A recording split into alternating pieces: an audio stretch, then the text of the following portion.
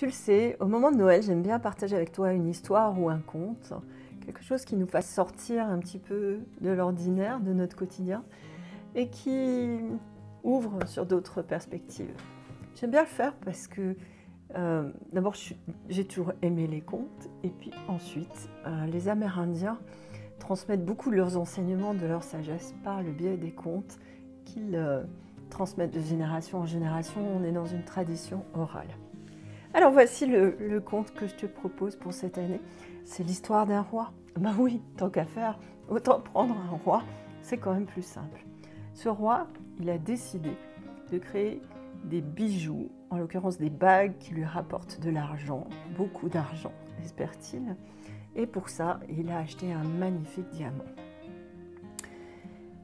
Pour que ces bagues euh, soient encore plus attrayantes, et oui, il fait du marketing, il va réunir les sages de sa cour et il va leur demander euh, une idée de message qu'il pourrait intégrer dans ces bagues pour que ces bagues soient encore, aient encore plus de valeur, soient encore plus importantes et encore plus euh, attrayantes pour les personnes qui souhaitent les acheter.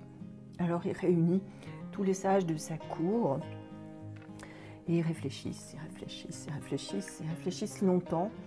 Et en fait, euh, ils n'arrivent pas à trouver grand-chose puisque euh, la demande du roi, c'était de trouver un message qui soit court et qui puisse se mettre sous la bague. Eux, les sages, ils savent faire que des messages extrêmement longs, des trucs énormes, des pavés, euh, des gros dictionnaires, mais ils n'arrivent pas à trouver de messages suffisamment courts et concis. Le roi, est un petit peu dépité. Et puis, euh, il pense à un vieux serviteur qui lui est très important puisque c'est une personne qu'il a élevé, qui a été avec lui pendant toute son enfance. Et il sait que ce vieux serviteur est une personne sage. Il va donc le voir et il lui fait sa requête en lui disant j'aimerais avoir un message court et concis qui donne beaucoup de valeur à mes bijoux.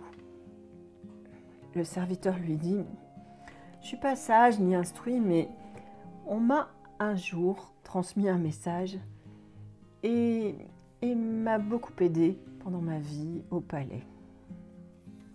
Le vieil homme prend un papier, écrit quelque chose dessus, le plie et le tend au roi en lui disant Ne l'ouvrez pas maintenant, vous l'ouvrirez quand il n'y aura pas d'autre issue, quand il n'y aura pas d'autre moyen.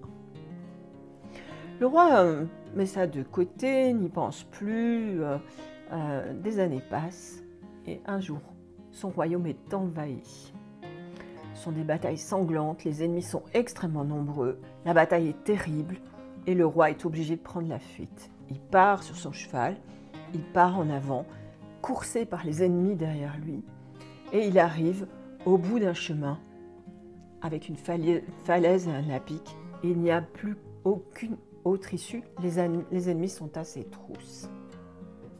Il est bloqué, il ne sait plus quoi faire. Et à ce moment-là, par chance, il pense à ce papier qu'il avait toujours gardé sur lui, ce papier que lui avait donné ce serviteur.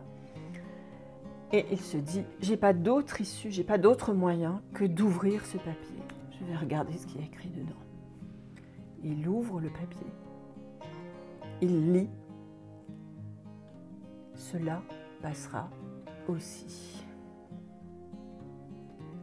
bizarrement, il ressent un énorme silence, une énorme paix qui monte en lui, quelque chose d'extraordinaire. Les oiseaux s'arrêtent de chanter.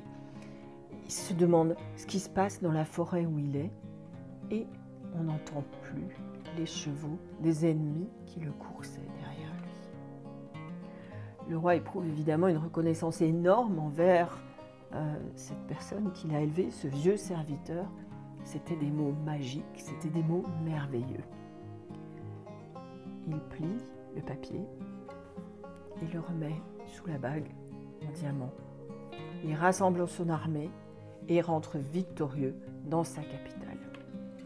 Il retourne au palais avec un sentiment d'immense triomphe. On lui organise une grande fête avec des chants et des chansons et des danses et des, et des ripailles, etc. il célèbre sa victoire et il se sent évidemment très heureux, magnifiquement heureux. Et le vieux serviteur était à côté de lui puisqu'il participait à la fête. Et à ce moment-là, il lui dit, ce moment aussi est approprié pour lire le message. Le roi dit, mais attends, mais je viens de gagner, tout va bien, les gens célèbrent mon retour, tout est magique et magnifique, je ne suis pas du tout dans une impasse. Et le serviteur dit, écoutez-moi, ce message est utile lorsque vous êtes battu, mais également lorsque vous gagnez. Le roi se dit, ouais, quand même, il exagère un petit peu, mais il écoute le vieux serviteur, il ouvre la bague, il lit le message, et il lit, cela passera aussi. De nouveau, il ressent un grand silence, une grande paix. Sa fierté et son ego, il avait pu les mettre de côté et il avait compris le message. J'avais vraiment à cœur de partager cette histoire avec toi parce qu'elle fait référence à l'impermanence.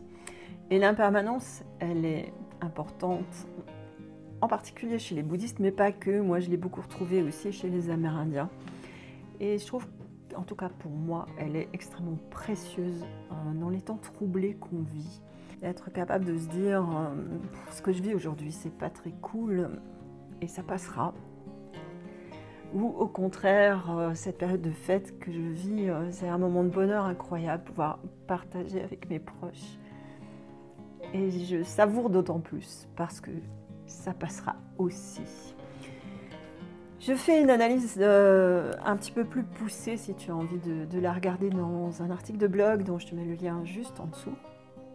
Et je te retrouve très vite pour des méditations autour du Nouvel An si tu veux être sûr de les avoir, euh, de les, de les voir, et si tu n'es pas encore abonné à ma newsletter, je t'invite à le faire. Je te mets aussi ce qu'il faut juste en dessous. En attendant, je te souhaite d'excellentes fêtes de Noël et profite, ça passera aussi. À très vite. Ciao.